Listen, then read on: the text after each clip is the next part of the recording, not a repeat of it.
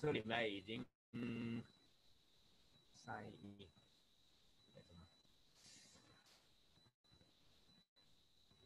我们吧，嗯，对我我已经进去，在这里登录到我的账号了。然后这看到了没有啊？这个地方点击 setting，就设置的地方。OK，哎，这是进入我账号，然后往下拉，拉到一个地方，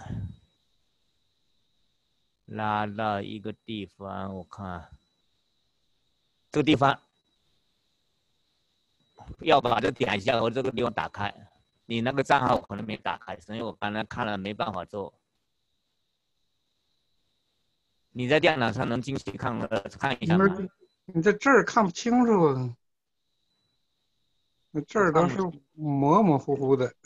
就就开始进去，在我这里面是点击在那个 personal 啊、下面有一个最后一个数字 setting，嗯。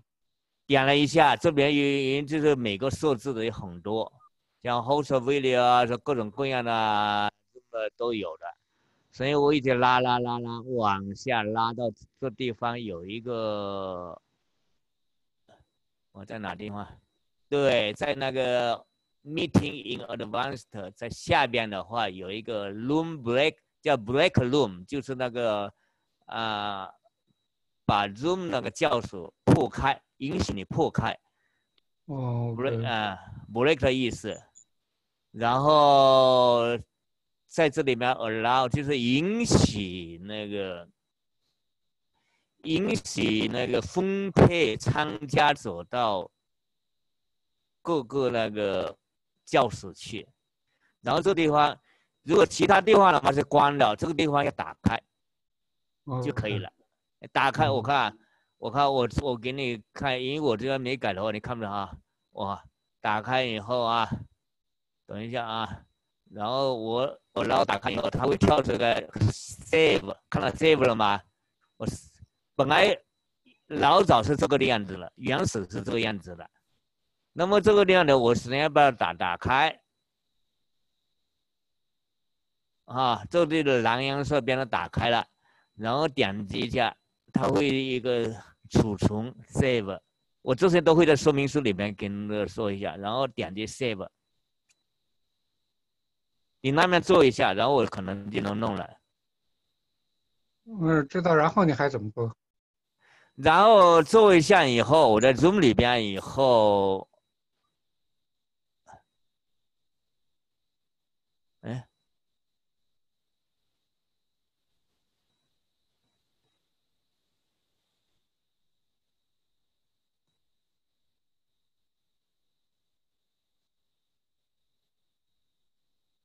然后宗里边的话，就以下边下边就有一个。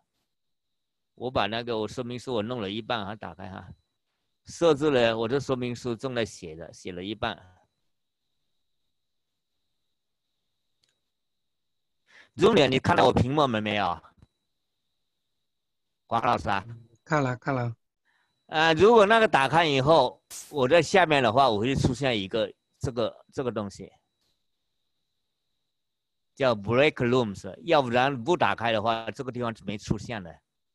OK，然后一点出来以后，他问我一下，我就因为我不我不想把所有人放在一个教室嘛，我就用那个 menu 就是那个点击这个，然后那个点击一个 create room 就是那个呃开一个那个教室，我第一个教室就开出来了，然后再点击再点击一个点击一个，两个教室开出来了。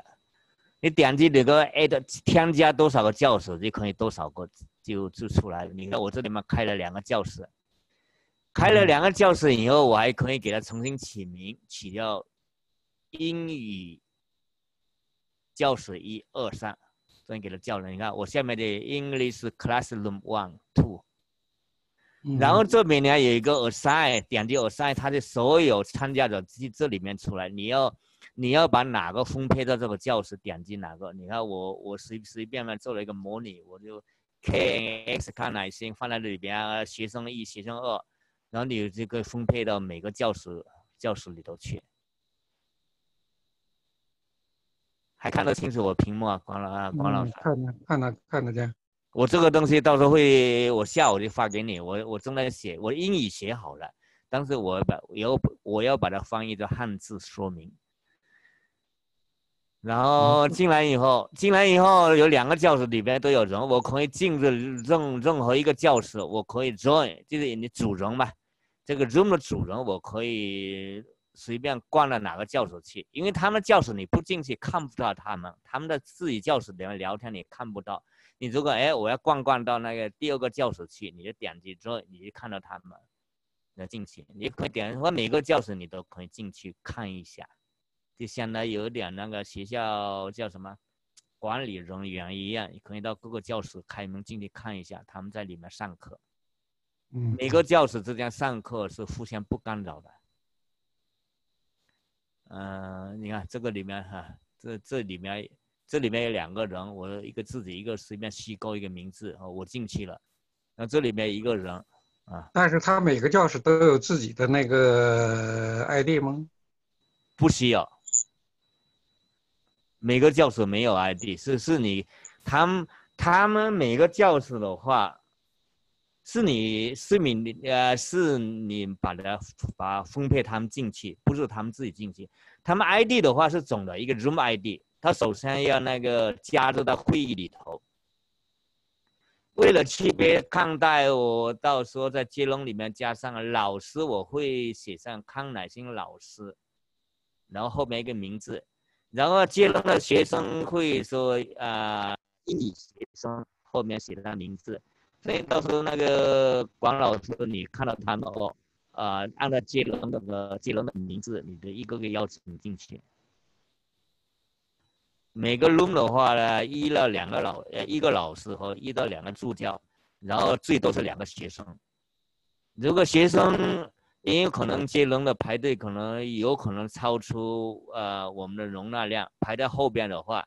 然后上前面学生上完课以后，他说我要出来了，那你就把他移出去，然后另外学生可以进来。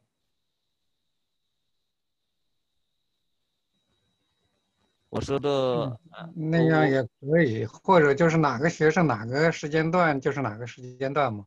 嗯，我担心就是说太多人太多了话，打个比方，这个时间段，我打个比方，星期一下午，啊，我们四个教室只允许八个学生。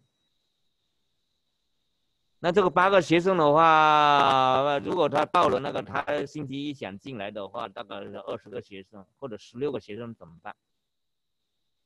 啊，没有谁的话，他想进也进不去。对他进不去，那不就是他他他那接龙了吗？那我们这个，呃，我们会说明一下，每个时间段最多只只能八个学生。那也可以吗？就是啊，对呀，那就是你按照那个时间段去接龙吗？那就是对，按照我会写上按时间段接接龙，还对呀，就是可以吗？关老师这样可以可以啊，好的，然后到时候我把那个定稿以后，我就下午把那接龙发出去，我等会再发一个那个基本基本你你你写的已经非常好了，没什么问题，非常好了。我尽力把那个生存英语这个也接龙放进去，因为毕竟他们那边嘛，其实生存英语有班里面学生大多数都在那个加拿大志愿中心里面学习了。但是我照顾这边学生有些没进去嘛，也让他们也能够有机会去锻炼英语，我也让他们接接龙，可以吗，管老师？然后你把那个就是那个所谓的那个那个那个助教也好，或者就是说对话的那个老师也好。那个怎么分配的？你也给那上写一下，啊，准备比如说十一点是这个谁负责这个一对一的这个英语对话，把那个也写一下。嗯，这个，呃，这个的话不急，因为我四个学生定下来了，其他几个义工的话，我现在已经找了三个义工了。到时候广老师你看一下，我总共有四个学生是当老师的。前面都写个，就我到时候他名字给你。呃，他前面是康乃馨老师，后边就是他名字，有四个。你把这四个人分配到四个教室去，这就很简单了，还对啊，因为每次都是就是他们四个是是老师和班长也好，课时长也好，其他几个的话，他们会写一个康乃馨助教。那么你随便分配啊，如果三个的话，你就分配到其他三个教室去；如果四个的话，跟呃，那你每每个教室分配一个，这很简单。其他接龙的我我们要求他到时候进入中的时候写上一个那个英语学生，因为你 Zoom 的话，你可打个比方的话，如果是星期一下午两点半到四点的话，可能可能还有其他太极课啊什么课啊，可能很人很多，所以你不容易分辨。其他人你不就就不在接龙里了，你不请他们，他们在外面做他们的事情去，对呀、这样就可以了哈，关老师。嗯，应该是的。总之来讲，你不干扰这个中心的这个主会场就啊，不干扰他们，他们进去了，但是你不邀请他教室进教室，他就在外边；邀请进来就在教室里头，和外面没关系，嗯，可以的，可以是吧？好，对的。那如果这样的话，我把说明书赶出来，下午发给你。嗯，好啊，好，那谢谢了，谢谢管老师和李老师。不客气，不客气。好，那我们再见了。好，哎，好的，谢谢你的分享。不不不不客气，好，好，再见了啊，两位。哎，好的，我弄好了是吧？弄啊，好，好了好了，弄好了吧？好好了，反正郑郑老师弄好了吧？啊，搞好了，好，搞好啊了，搞好了。那我关掉了，好，再见啊，李老师还有关老师，哎，好，再见。再见啊。我我把我关出来以后就还给你了。嗯，没关系，你只要关了就可以了。